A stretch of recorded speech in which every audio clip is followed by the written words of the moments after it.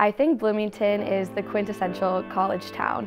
It has everything I think a student could want, whether it's comedy clubs, sporting events, school spirit, a great academic institution, obviously at Indiana University, and just all the fun you could want after classes or on the weekends. So Bloomington is like my home away from home. Once I came and visited, it's the classic story of falling in love with the campus, with the city, the school spirit, being a Big Ten school. It just checked all of my boxes. O'Neill just highlighted that experience here at IU, being able to make a big school feel smaller. The general vibe of the O'Neill School being that everyone wants to lead for the greater good and everyone comes here wanting to make some kind of difference in the world, whether it's related to healthcare, the environment, nonprofits. Students from around the world come here to make a change and learn how to do that, and I think that makes the O'Neill School really special.